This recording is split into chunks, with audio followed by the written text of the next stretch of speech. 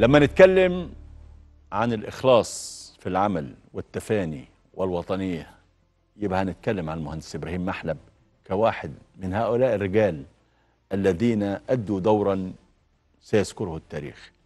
إبراهيم محلب الرجل الوطني المخلص في عمله اللي قدم العديد من الإنجازات وكان عنصرا فاعلا في عمله وأدائه وعندما قامت ثورة 30 يوليو ترك عمله في المملكة العربية السعودية التي كان يتقاضى فيها حوالي مليون ريال شهريا ليأتي إلى هنا وزيرا ثم رئيسا للوزراء. مهندس إبراهيم محلب الآن في باريس يعالج. ربنا يديله الصحة. أدعوكم أن تدعوا له بالشفاء العاجل. آه نتمنى بالفعل أن نراه بيننا في أقرب فرصة. هو الآن على سرير المرض. في باريس.